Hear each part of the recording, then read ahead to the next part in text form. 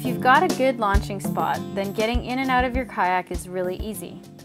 On the beach, you place your kayak right on the sand, hop in, and push off using your hands and paddle away. If you don't want to slide your kayak across the sand, you can float your kayak in a few inches of water, straddle the boat with one leg on either side using your feet to balance. Next, sit down in the seat, and lastly, pull your legs inside the kayak. Either technique is very simple. Get out on the beach, just paddle your kayak up onto the sand so that the boat beaches, or go relatively close to the sand so that your kayak is floating in a few inches of water. From here, you can balance to get out by stepping your feet out one at a time. If you're getting in and out on an uneven shoreline, then you can use your paddle to help you balance. Line your kayak up parallel to the shoreline. Then set your paddle across the back of the cockpit so that half the paddle crosses the boat and the other half lies on the shore.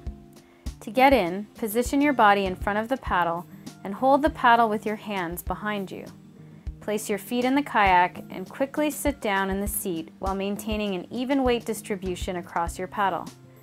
If you don't keep your weight evenly dispersed between the end of your paddle on your boat and the other end on shore, your balance will become very unstable. To get out, you can use the same technique in reverse.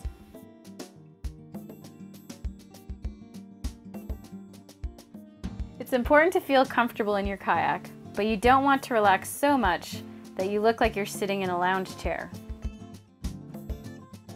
Most kayaks now come with back support that looks like it's inviting you to slouch and lean back.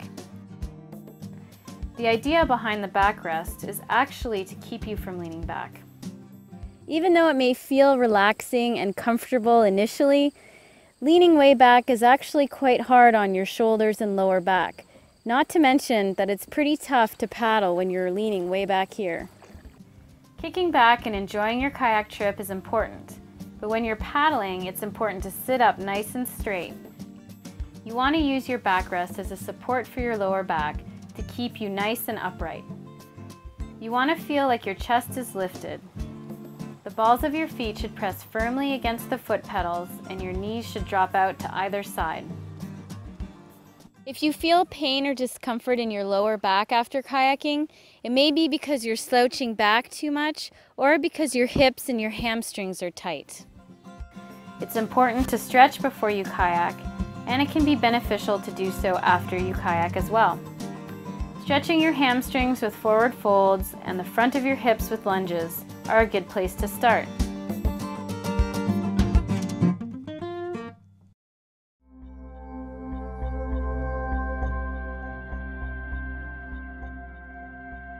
If you're using a spray skirt for your sit-inside kayak, you'll want to put it on once you're comfortably seated in the boat. To put your spray skirt on, lean back so that you can place the skirt around the back cockpit rim first. It's much easier to put the back of the skirt on before the front.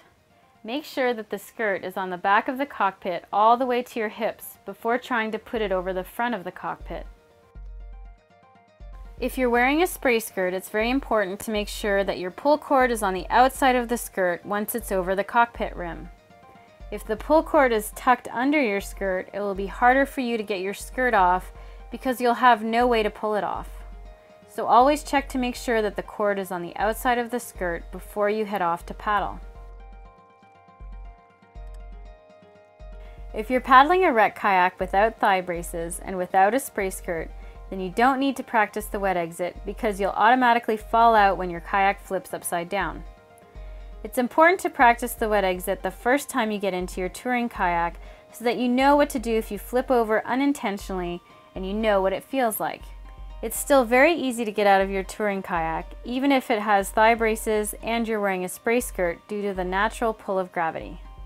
To practice, Get into your kayak and paddle out in a safe, flat area that is deep enough for you to flip over, but relatively close to shore.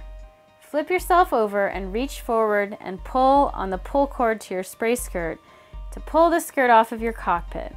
Then place your hands on your kayak beside your hips and push yourself out of your kayak in a forward somersault.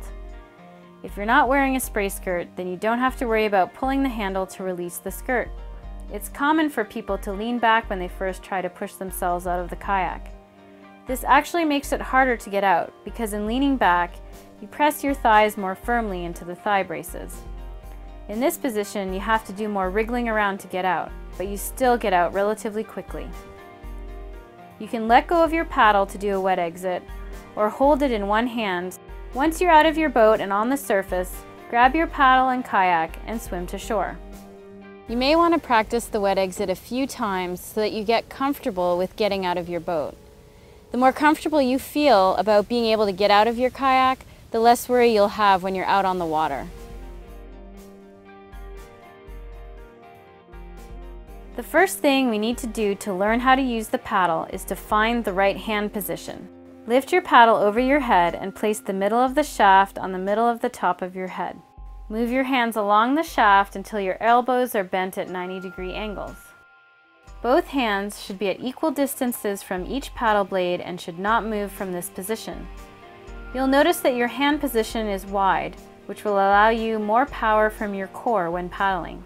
Your knuckles should be lined up with the tops of your blades, and this curved surface of the blade, called the power face, should always be facing you when you're paddling. You'll notice that the blade is asymmetrical, and the longer part of the paddle blade should always face up. If you have a feathered paddle, then you'll use one hand, the right hand for right-handed people, and the left hand for left-handed people, as a control hand that grips the paddle firmly and rotates the paddle up and down slightly depending on the feather. Your other hand has a light grip on the paddle, which allows the shaft to rotate so that each blade hits the water with the right angle for good purchase for your stroke.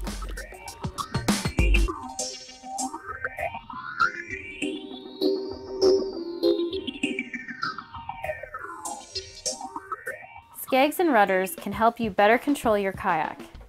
Keeping your boat straight can be challenging at times, especially in high winds. And by using a skeg or rudder, you can keep your kayak straight without the extra work of always having to paddle on one side against the wind. Rudders flip down from their stored position on top of the deck with the use of hull lines found alongside the cockpit and are then controlled by your foot pedals. Rudders are a great addition to your kayak because they really help you turn and change direction.